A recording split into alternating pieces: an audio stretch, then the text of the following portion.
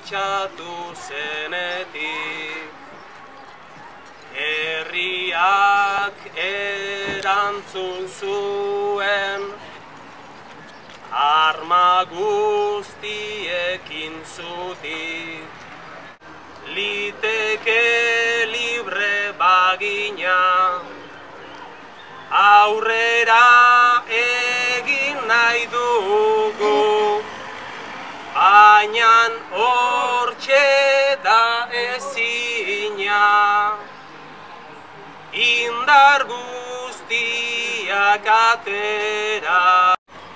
Berrogei urteko ibilbidea jasarpenaz, errepresioaz eta eriotzaz, gerora ondo egonkortutako sistema politikoa ondare legez usteko. Izan ere, frankismoak xede zuen proiektu politikoa, Espaini handi eta bakarra, elite finantzieroei, oligarkikoari estuki lotua dagoena, egun oraindik osasuntzu dago. No pasarán. Omenaldirik onena fasismoaren aurka bizia eman zutenei eta zerbitzurik onena etorkizuneko belaunaldiei. Gaurkoan, altxamendu fasistaren errepublikaren kontrako estatu kolpearen larogei garren urte hurrenean fasismoaren aurka borroka egin zutenak gogora ekarri eta omendu nahi ditugu.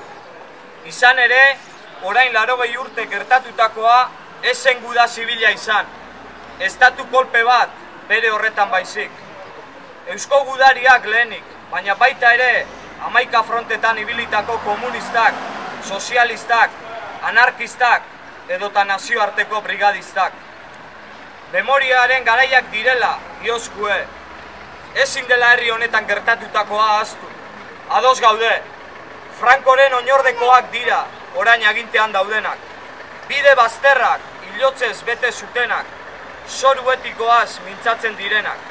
Oraindik, sorupetik, gudarien gorpuzkinak ateratzen ari garelarik.